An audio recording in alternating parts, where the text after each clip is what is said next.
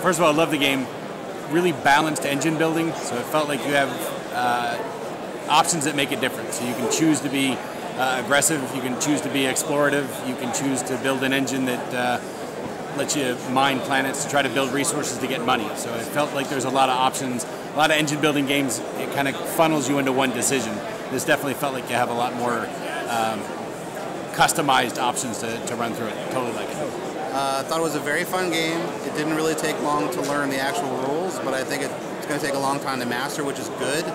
And I could see that all the different races that were available in the game are balanced differently depending on what technologies you attach to them. I really like having that type of variety. So every time I play, it could feel like a different experience, which I think is which is excellent. All right, uh, I'm a gateway gamer. I play mainly gateway games. Some of these gentlemen play the heavier games. They found lots of different strategies. I enjoyed the flow of the game, something for everyone, and it all ended up pretty even.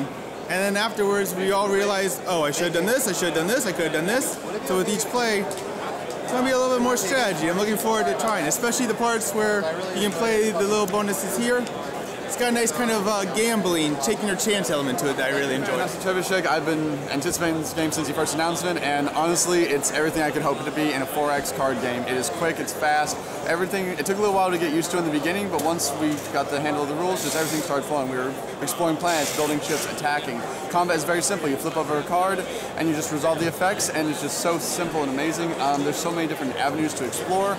I would honestly love to play this game again just because there's so many different options, there's so many different things you could do. Just I can easily see multiple strategies coming out of this game and just never experience being like the same. It would just be wonderful and amazing and I can't wait to see what else when the game fully releases.